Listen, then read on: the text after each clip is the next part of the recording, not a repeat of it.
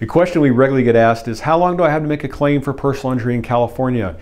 And as much as I want to answer that question as directly as possible, I can't. And the reason is, generally speaking, you have two years from the date of injury or from when you knew or should have known of a possible claim. So that sounds simple enough.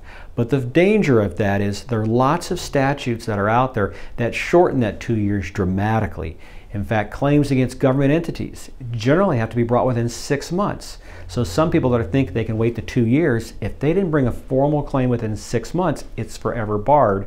Of course, there's some exceptions to that, but generally speaking, it's lost.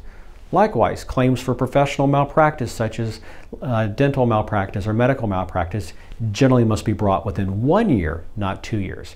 So the general rule is two years, but if you think you've been injured, you should never wait that long. You should reach out to an attorney right away and find out exactly what is the statute of limitations applicable to your claim.